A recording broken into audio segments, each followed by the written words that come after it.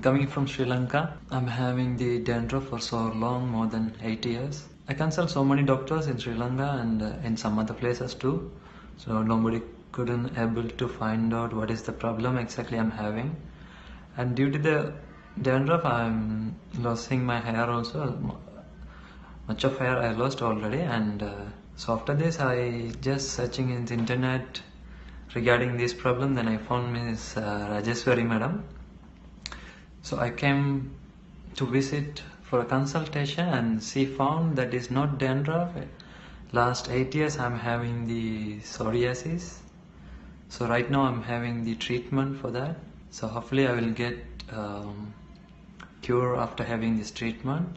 So first things I want to say thanks for the Rajeswari madam for finding out the problem what exactly I'm having. Thank you.